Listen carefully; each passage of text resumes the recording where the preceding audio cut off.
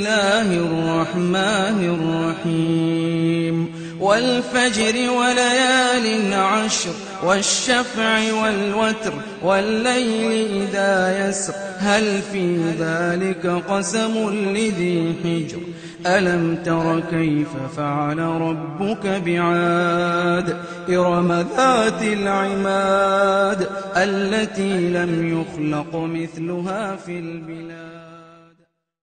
وعليكم السلام ورحمة الله وبركاته حامدا مسليا أما بعد فأعوذ بالله من الشيطان الرجيم بسم الله الرحمن الرحيم West Bengal India থেকে একদিনই ভাই প্রশ্ন করেছেন যে কোনো ব্যক্তি যদি অনিচ্ছাকৃতভাবে নিজের শরমগায় তথা নিজের লজ্জাস্থানে হাত দিয়ে ফেলে তাহলে কি তার উজু নষ্ট হয়ে যাবে তাহলে কি তাকে দ্বিতীয়বার উজু করতে হবে এ বিষয়ে ইসলামী শরিয়া কি বলে হাদিসের দলিল রেফারেন্স সহকারে বিস্তারিত জানাবেন।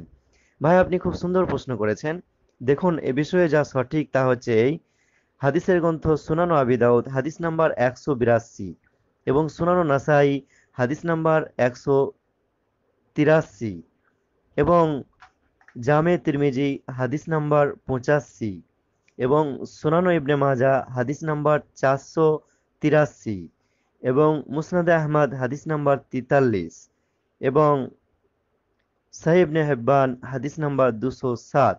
এখানে উল্লেখ আছে ওয়ান তলাক ইবনে আলী রদি আল্লাহ আনহু কল তলাক বিন আলী রজি আল্লাহ তালু হতে বর্ণিত, তিনি বলেন কলা রজুলুন, যে এক ব্যক্তি বলল, মাসাস্তু দাকারি আউ কলা রজুলু ইয়ামাসু দাকারাহু ফিস সলাহ।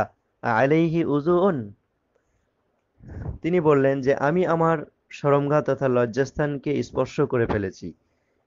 কিংবা কোনো ব্যক্তি বলল যে, যদি কোনো ব্যক্তি নামাজের মধ্যে নিজের শরমঘা তথা লজ্জাস্থানে হাত দিয়ে ফেলে, তাহলে কি তাকে উজু করতে হবে? ফকল নবী সাল্লাহ আলী আসাল্লাম তখন বিশ্বনবী সাল্লাহ আলী আসাল্লাম উত্তরে বললেন, লা, ইন্নামা হুয়া বাদায়াতুম মিনক। না। বরং সেটা হচ্ছে শরীরের একটা অংশ। শরীরের অঙ্গ প্রত্যঙ্গের মধ্যে সেটাও শরীরেরই একটা অংশ। তো এই হাদিসটি, সেই হাদিস সুনানো আবিদাউদ হাদিস নাম্বার একশো বিরাশি এবং একশো তিরাশি নম্বর হাদিস, সুনানো নাসাই, হাদিস নাম্বার একশো পঁয়ষট্টি এবং জামে তিরমিজি, হাদিস নাম্বার পঁচাশি এবং সুনানো ইবনে মাজা হাদিস নাম্বার চারশো তিরাশি এবং মুসনাদে আহমদ, হাদিস নাম্বার তিতাল্লিশ এবং সাহেব নেহবান হাদিস নাম্বার দুশো সাত।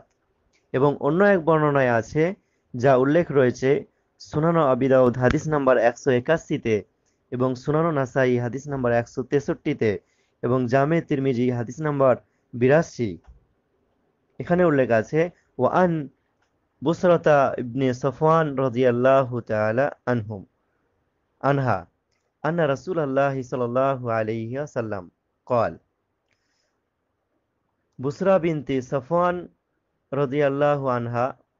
থেকে বর্ণিত, আন্না রসুল আল্লাহ সাল্লাহ আলী আসাল্লাম কল যে আল্লাহ রসুল সাল্লাহ আলী আসাল্লাম বলেছেন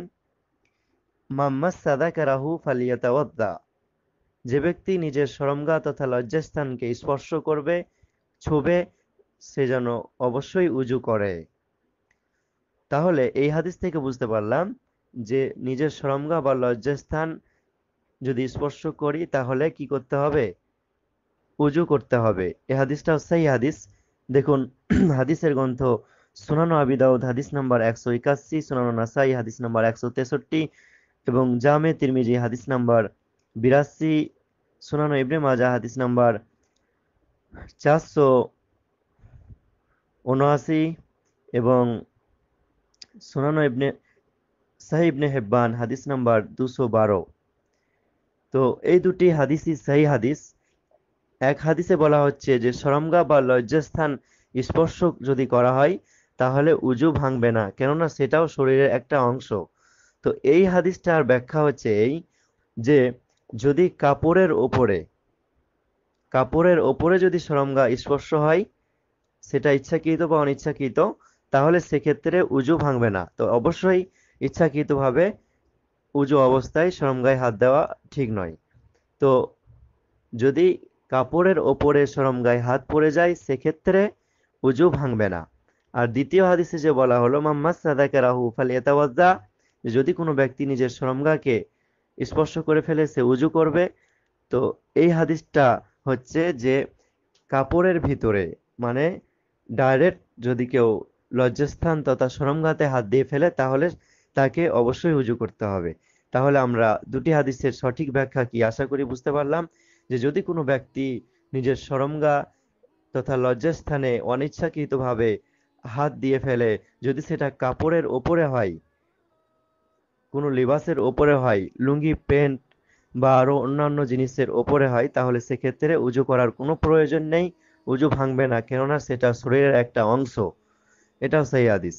এবং যদি ডাইরেক্ট লজ্জাস্থানে হাত দেয় কাপড় ছাড়া, তাহলে সেক্ষেত্রে উজু করতে হবে। কেননা সেটাও না ওকে যে উজু মধ্যে ধরা হয়েছে, হাদিস সাহি। আশা করি আপনি আপনার উত্তর পেয়ে সন্তুষ্ট হয়েছেন। জাজাকুমুল্লাহ